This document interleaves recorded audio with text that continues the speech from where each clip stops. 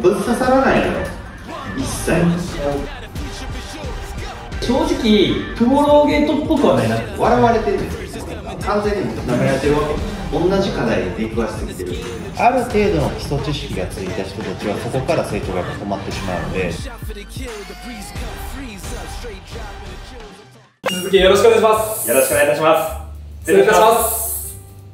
お疲れ様です。OK あの日程お候補願いします。うん時間短いパターンやともうダイレクトに課題を聞いていきたいから細かく噛み砕いて数字で提案したい。ちょっとずっと同じテンションが続いてるから。目標がない。うん。相手も熱い感じの人やったらいいけどそういう感じじゃないやん。だったらもしかしたら毛嫌いされるかも。相手も多分結論を先に欲しいと思う。はねはい。提案してくれる形ですから聞いてはいだったらこことここを課題解決できますよっていうのを伝えてあげた方が相手もああ分かりましたってマインドセットがでは、よろしくお願いします。今日ですね、皆さんにお集まりいただいたと思うんですけども、僕たちですね、面白い会社を作るお手伝いしてます。これだけ覚えていただけたらなと思ってます。お疲れしたよかったところ、えっ、と興味喚起最初の動画でドーンってやってるっていうこれ君が言ってくれた通りで成功法やと思うしそこに着眼点を持っていけた続きはめっちゃいいなって思った続きのいいところは話のテンポ感を2人結構真似た方がいいと思ってあの聞きやすい間のテンポ感だったあとは改善点っていうところでいくと大きく3つで、えー、とゴール設定であとは前提最後にねあのアナウンサー感があるっていうねコンセプトでぶっ刺さらないのよ切その狙いを鈴木は多分本気で決めないといけない。ただ声がでかくなればで伝えたいんだろうってことも分かんない。でもぶっ刺さってないっていうのは何なんかなっていうのをポイント絞ってないから伝えたいことを欲張ってるからまだ現段現段階でも知識量の中で。もっとここだけっていうものを全力投球してでちゃんと相手の状況に合わせて当てるっていうのを寄り添ってね。いうのをやらないとぶっ刺さる感を作れなかったら、えー結構遠いないなっていう感覚が起きた僕たちの説明もさせていただければなっていうふうに思うんですけど、今日のゴールとしてはですね、皆さんが、あ、元気なんかもらったわ、この人に。って思ってもらえるような、そんな状態を作っていけたらなっていうふうに思ってます。もう好き嫌いが完全分かれるなみたいな、で正直トゥモローゲートっぽくはないなっていうのをぶっちゃけ感じてるあとは正直もう何をやってる授業なのかっていうのがあんまり全体伝わらなかったから もちろん時間もあるからただ元気なやつがわー喋りに来たみたいな印象しかちょっと残らなかったから、うん、そこはもったいないなっていうところかな。分からない言葉に配慮してたなっていうのが良かった。確かにあの一応差別化とかだけの説明してるなっていうのが良かったなって思いました。まあ大きくはこの辺りになるかなと思って、えっと、改善点として俺もやっぱり印象としてねちょっとあの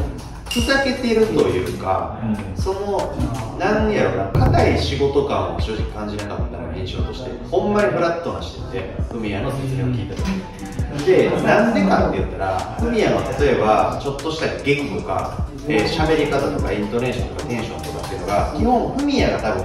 俺たちもおもろってなるポイントってフミヤが笑かしたいと思ってるポイントじゃないところで俺ら多分笑ってるんじゃないと思って笑われてるんです結構なんかじゃあ、こうございます。その拍手で、どんどんあの皆さんの意見をですね、うん、OK。こっちみたいな。極端な例ですよ。極端な例ですけど、こんな対応された時に、だからなんかそこのグリップ握れてないから一生懸命話し話してるのがおもろいって捉えられてるって結構辛くてこれやりました伝えたいメッセージが要は真裏に返って捉えられてるからまあ完全に舐められてるわけです伝えてるつもりで伝わってないってことで。こうやって最悪やか。らこれ結構意味あるなって。なんか今回初めて俺も言語化できたなと思ったはい。だってみんなねちょっと退化してるぞ そうですね。なんでやろな。これはもしかしたら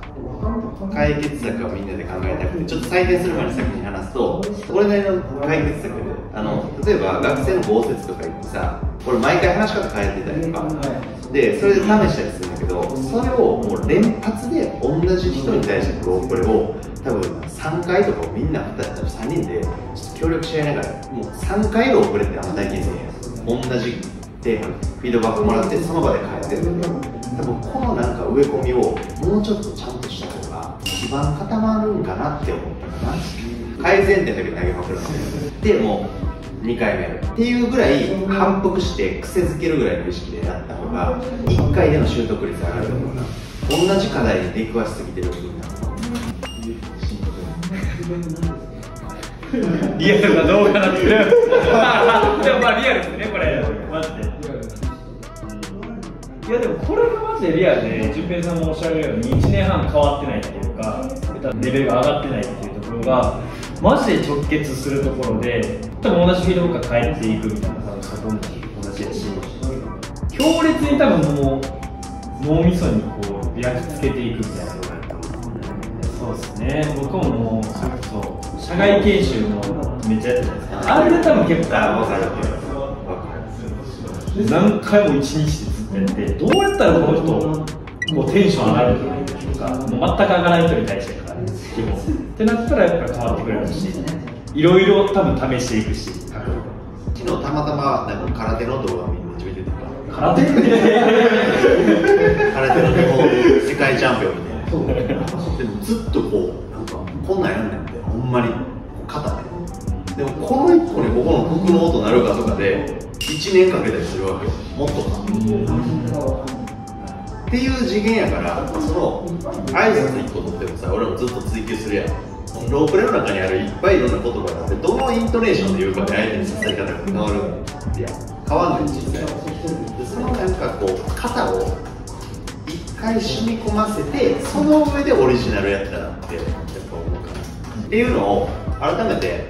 やりましょう。まあめっちゃいい勉強だったんちゃうなんか俺結構今回あつかめたって気したみんなの課題を改めて言語ができた気がするまあ乗り越えましょうか。はい。はい。はいじゃあ今日はお疲れ様でした。なぜビジョンマップのプレゼン大会をやろうと思ったんですか？うちはロープレの文化っていうのが結構あってそれは基本的にお客様を対象にするんですけど僕たちの自社の紹介ってお客様にだけ届けようって思ってると解釈が若干偏るなって実体験をもとに思ある程度基礎知識がついた子たちは目の前に誰が座ってもその人に合わせて喋れるようにカスタマイズをできるスキルっていうのが必要になるのでそれを実施するためにお客様はもちろん実際のうちにいる社員に対して喋るならどう喋るうちのことあとは求職者さんに対して喋るならどう喋るっていうのをカスタマイズできる訓練として定例的にこう実施しようっていうそんな意味合いになります。やっぱりできてないことっていうのを会を重ねていくことに気づきが変わっていくのでそこをみんなが愚直に捉えて自分のスキルに落とし込むことができればすごい価値のある時間やったんじゃないかなって言えるかなと思います。今回ロープレっていうテーマの属性でお話をするなら同じパターンで何度も練習するっていうことの意義ってめちゃくちゃ大事ですけどある程度の基礎知識がついた人たちはそこから成長がやっぱ止まってしまうので自分でそれをどれだけ咀嚼して落とせるかが重要なんです。そこのスキルみたいな応用力みたいなのがやっぱり今の現状のメンバーを見てても、まあ、このロープレして何を得たいのみたいなのが不明瞭な状態のまま挑んじゃってる子がいるなっていうのを普段感じてたかもしれないです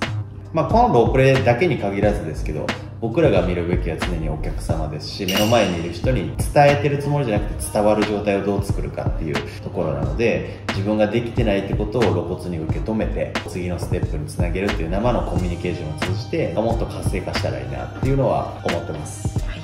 ありがとうございます。はい、ありがとうございました